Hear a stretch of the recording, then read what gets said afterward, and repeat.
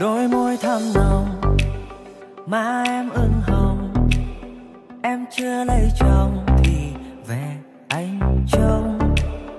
Anh chưa có ai, tương lai rộng dài nếu em không ngại thì để ngày mai. Anh qua thưa ba má em cho mình làm quen. Biết đâu sớm mai thức dậy nhìn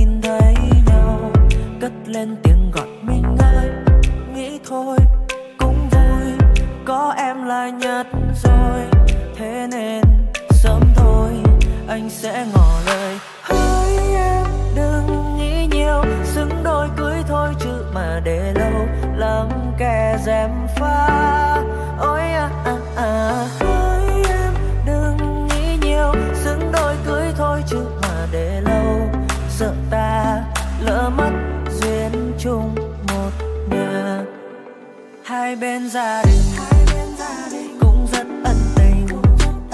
cho nên đôi mình chẳng thể linh tinh.